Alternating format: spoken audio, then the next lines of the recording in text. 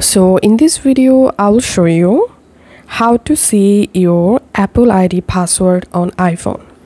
So if you ever saved your apple id password on your iphone passwords app or in your google account then you'll be able to easily view your saved apple id password. And here's how to do it.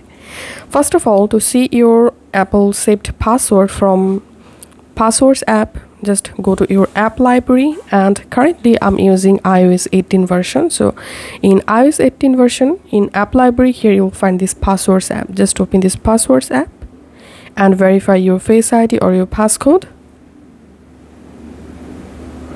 Once you've successfully verified now just go to this all section and here in this list just find out apple. Now all you have to need just tap on apple and here you will find your apple id username and tap on the password box to make the password visible. So this was the first way to see your saved apple id password. And now i'll show you how to see saved apple id password in google account.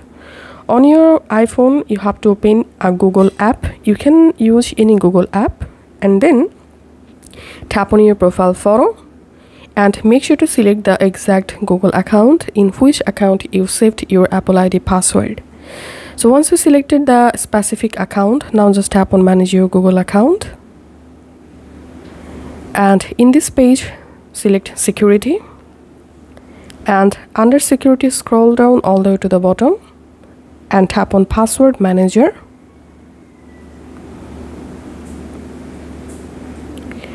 And here in this list scroll down and just tap on apple.com or you can use this search passwords box to find out apple.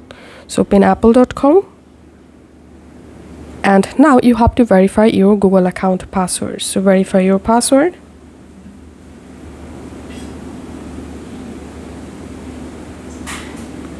And here we can see my apple id username and password to see the password just tap on this little eye icon.